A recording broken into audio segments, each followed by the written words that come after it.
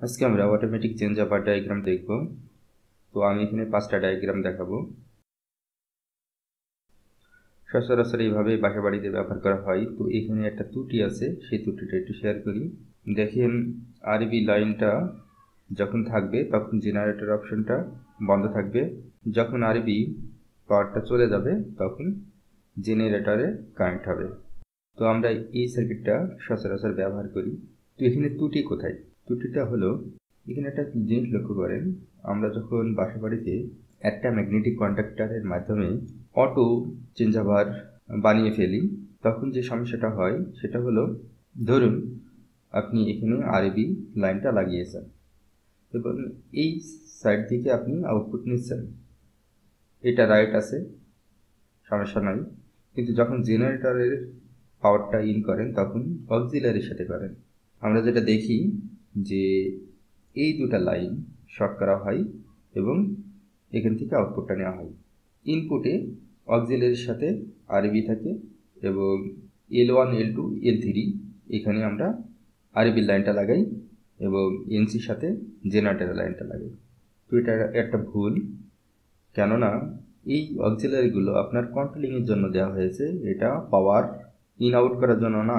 তো আমরা এই কাজটা করি আর যার কারণে যে কাজটা হয়, এই অক্সিলারিটা নষ্ট হয়ে যায়, তখন দায়ী করি ম্যাগনেটিক কন্ডাক্টরটা ভালো ছিল না। এটা একটা কাজের অদক্ষতা। তো এইগুলো আমরা যদি না করি, তাহলে আমরা এই সার্কিটটা একটু ব্যতিক্রমভাবে যদি করি, তাহলে কেমন হয় একটু দেখেন। এই জায়গাটা আমরা যে ম্যাগনেটিক কন্ট্রাক্টরটা ব্যবহার করছি, এটা ম্যাগনেটিক কন্ট্রাক্টর না ব্যবহার করে এটা করব আমরা রিলে জাস্ট কন্ট্রোলিংটা করব এখানে। আর ম্যাগনেটিক কন্ট্রাক্টর দুটা ব্যবহার করব। এই দুটা ব্যবহার করে আমরা পাওয়ার নিব। এই এনসিটা দেখতে পাচ্ছেন? এই এনসিটা হলো আমার মেন লাইনের সাথে লাগবে। জেনারেটারে পাওয়ারটা থাকবে এনসি হয়ে ইন্টারলক হয়ে কয়েলে পাওয়ার চলে যাবে এবং জেনারেটারে পাওয়ারটা এখান থেকে ট্রান্সফার হয়ে কমন বাসবারে চলে যাবে। আচ্ছা যখন আরবির লাইন থাকবে একটা অতিরিক্ত কাজ করছি, লক্ষ্য করেন, একটা টাইমার ব্যবহার করছি। কেন? টাইমারটা ব্যবহার করছি। তার কারণ হলো, দেখবেন অনেক সময় আরবি যখন পাওয়ারটা আসে, কয়েক সেকেন্ডের জন্য আসে এবং যায়। তো একটা টিকাল ডিভাইস পাওয়ার বারবার আসা যাওয়ার কারণে ডিভাইসটি নষ্ট হতে পারে। তো আমরা কি করব? একটা টাইম ডিলে করে তারপর আরবি লাইনটা অন করব। তো এই কারণে আমি এখানে টাইমারটা ব্যবহার করব। দেখেন, প্রথম একটা ফিউজ ফিউজ থেকে সর্বপ্রথম আসবে কিতে? টাইমারে রিলের এনসি হয়ে টাইমারে এখন রিলে এনসি কেন ব্যবহার করব? রিলে এনসিটা এই কারণে ব্যবহার করছি যে, যেন টাইমারটা অলওয়েজ চালু না থাকে। হ্যাঁ? তো টাইমারের টাইম গণনা হয়ে গেল। তো টাইম গণনা হয়ে যাওয়ার সাথে সাথে এই সুইচটা অন হবে। এই সুইচটা অন হওয়ার সাথে সাথে রিলের কয়েলে পাওয়ারটা চলে যাবে। রিলের কয়েলে পাওয়ার চলে যাওয়ার সাথে সাথে এইটা হোল্ড হবে। রিলের এনোটা হোল্ড হবে। রিলের এনো হোল্ড হওয়ার সাথে সাথে পাওয়ারটা এদিক দিয়ে এই রিলেটাকে অ্যানেবেল করে রাখবে। সেই সাথে সাথে টাইমারটা এখন অফ পজিশনে থাকবে। আচ্ছা এখন এই রিলেটা ধরা মানে হলো এটা অন আছে, এইটা অন আছে।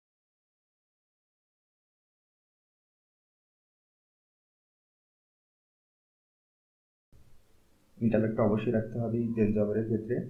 যেন দুটা কন্ট্যাক্ট একসাথে না এনেবেল হয়। এখন আসি অটোমেটিক চেঞ্জ ওভারের ম্যানুয়াল এবং অটো দুটা মোড নিয়ে এই ডাইভিংটা বানানো হয়েছে। এখন যে কোনো কারণে অটো সাইডটা ত্রুটি আছে। তো ত্রুটি আছে সেটা আমার মেরামত করতে সময় লাগবে। তো এই সময়টা আমার হাতে নাই। জরুরি ভিত্তিতে আমার লাইনটা দিতে হবে। তো সেই ক্ষেত্রে আমাদের অবশ্যই অটো মিনুয়াল সুইচ ব্যবহার করা ভালো। তো এখানে আমরা একটা কি করব? সিলেক্টর সুইচ রাখব। দেখুন, অতিরিক্ত যে কাজটা করছি, একটা সিলেক্টর সুইচ ব্যবহার করছি। এই দুটা সুইচ না, এটা একটাই সুইচ সুইচের দুটা চ্যানেল ব্যবহার করছি। যখন আমরা অটোর দিকে রাখব, তখন অটোমেটিক মোডটা চালু থাকবে আর ম্যানুয়াল মোডটা বন্ধ থাকবে। যখন ম্যানুয়ালের দিকে রাখব, তখন দেখুন এখানে আরএবি ম্যানুয়াল এবং জেনারেটর ম্যানুয়াল অর্থাৎ এখানেও একটা সিলেক্টর সুইচ আমি ব্যবহার করছি। প্রথমে অটো ম্যানুয়াল অটো ম্যানুয়ালের আউটপুটে যাবে হচ্ছে, আমি কোনটা সিলেক্ট করতে চাচ্ছি ম্যানুয়ালে আরবি না জেনারেটর এটা আরও একটু ক্লিয়ার করি। এখানে একটু দেখেন, লক্ষ্য করেন। এখানে প্রথম ইমার্জেন্সি অটো ম্যানুয়াল এই সুইচটা অন করার সাথে সাথে যদি ম্যানুয়াল সাইডে আমি অন করি, তখন এই সুইচে পাওয়া যাবে। এই সুইচে আমি আরবিতে চালাতে চাচ্ছি না জেনারেটারে চালাতে চাচ্ছি, সেটা আমি সিলেক্ট করে দেবো।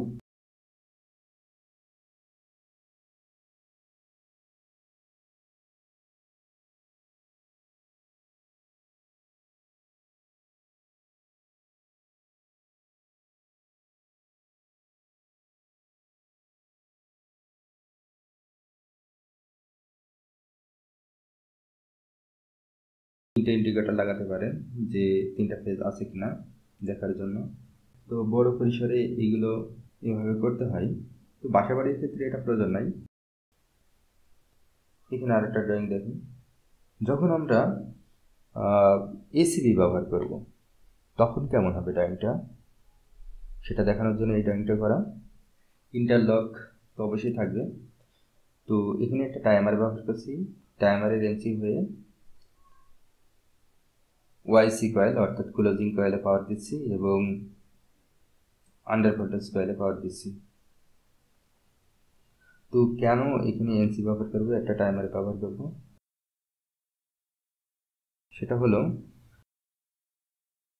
ক্লোজিং কয়েল শুধু চালু করার সময় চালু থাকবে জাস্ট সুইচটাকে অন করবে।